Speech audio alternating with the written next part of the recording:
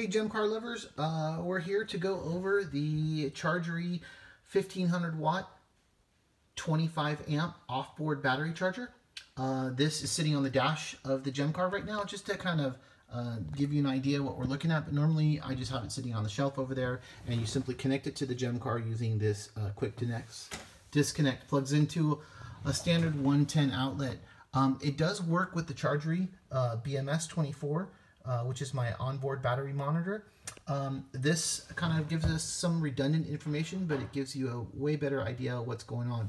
Um, there is a one-time kind of setup that you need to do to kind of like tell the uh, battery charger what uh, charge parameters you're looking for, and I'll just take you through that right now.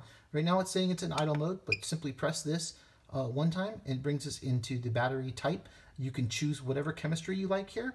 Um, and then this takes you to uh, the different charge parameters. I'm running 24 cells, so that's what I have here.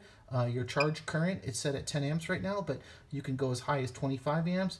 Um, you can charge, uh, change your end current, your end voltage, uh, restart charge, etc.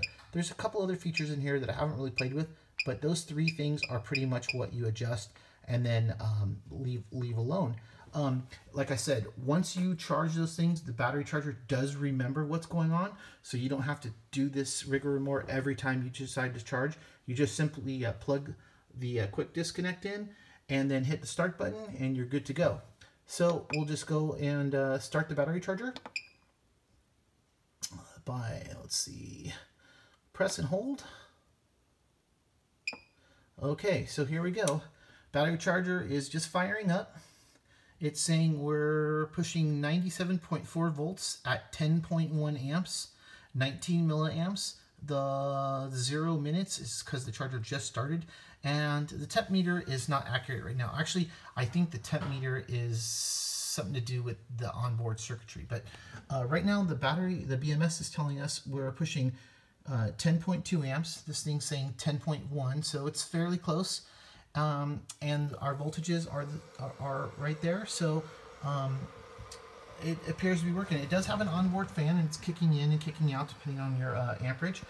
But um, yeah, we just wanted to uh, kind of go over some of the basic features.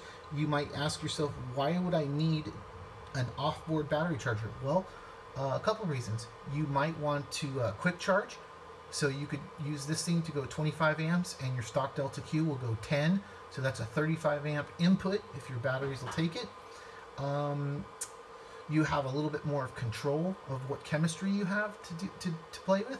You might not want to take the Delta Q out of your car and have it reprogrammed um, to, to do the charging. So you can let this do it.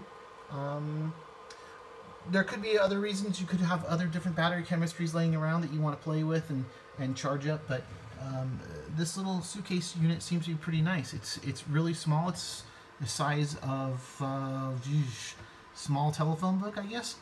Anyways, um, that's it for now, and um, hope you enjoyed. Thanks, David.